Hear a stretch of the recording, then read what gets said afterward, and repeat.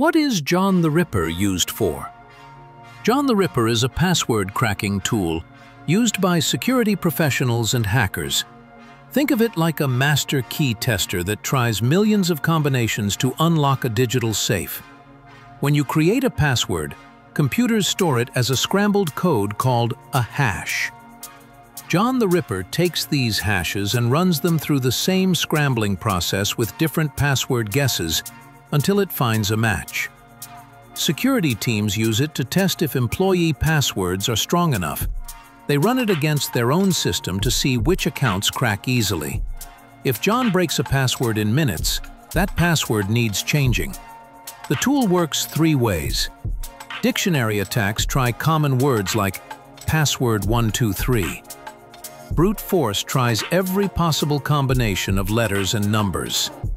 Hybrid mode combines both methods.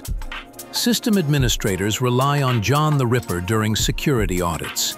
It reveals weak passwords before actual attackers find them. The faster it cracks passwords in testing, the more vulnerable those accounts are in real attacks.